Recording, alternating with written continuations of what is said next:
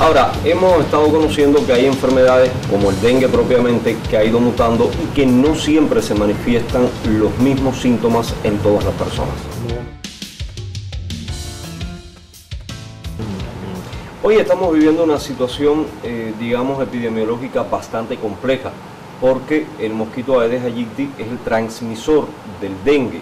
Hay municipios como Bayamo, Campechuela, Iguaní y Yara, también eh, Pilón, que tienen una alta tasa de focalidad del mosquito Aedes aegypti. Donde hay mosquito hay riesgo de contagiarse con esta enfermedad. ¿Es así, doctor? Así mismo eh, efectivamente, eh, la provincia ha habido una alta incidencia de dengue y sobre todo en estos días que ha, llovido mucho y el dengue, el mosquito con el agua, es como que alguna sigue sol también.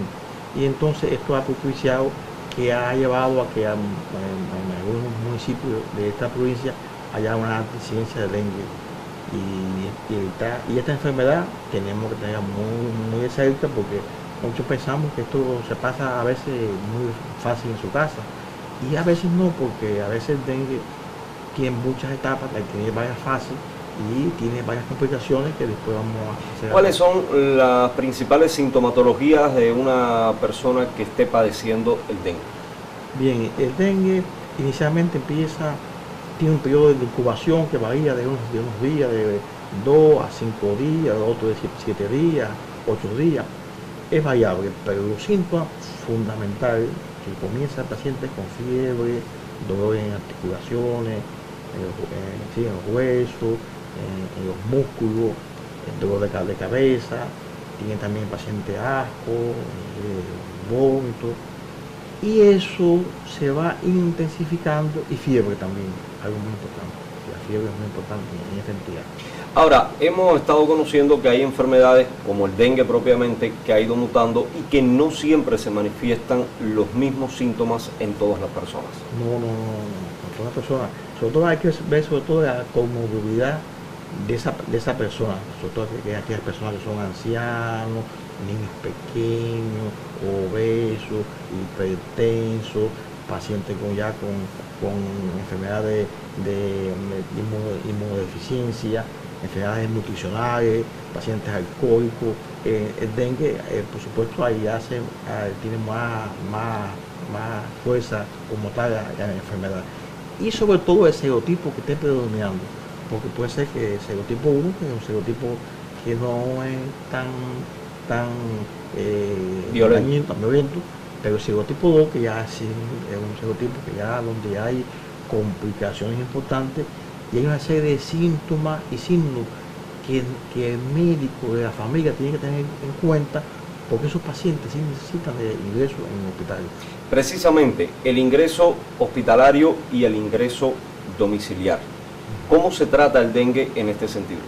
Bien, ¿quiénes son pacientes eh, que lleva a los que, los que pueden estar en su casa o pueden estar en un centro de aislamiento y quiénes son los pacientes que pueden estar, que llevan ingreso en un hospital. Bueno, la clasificación de Santa Fe fue hecha en, Bolivia, que por cierto participaron cinco cubanos de IPK, esa clasificación nos, abrió los caminos ya, eh, y un estudio ENCO que se hizo de más de 2.000 casos, y, eso nos llevó a, esta clasificación de dengue eh, actualizada de dengue con o, con, con o sin signos de lágrimas y dengue ya propiamente ya complicado ya. Entonces, ¿quiénes son los pacientes que van a su casa? Bueno, los que van a su casa son aquellos pacientes que tienen una fiebre, pero no una fiebre persistente, tienen dolor de cabeza, pero no es intenso, tienen vómitos, pero no son intensos los vómitos, eh, no tienen elementos de deshidratación, ¿sí? de, contracción, no tienen elementos de hipotensión, ¿sí? de la presión baja, el pulso con deficiencia. Esos pacientes van a su casa, pacientes que están conscientes y esas cosas. Pero estos pacientes en su casa deben permanecer debajo del mosquitero, haciendo reposo. Entonces, esos pacientes en su casa necesitan tener un aislamiento y un seguimiento diario por el médico de familia. Y, por supuesto, algo muy importante, lleva un aislamiento y sobre todo el uso del mosquitero.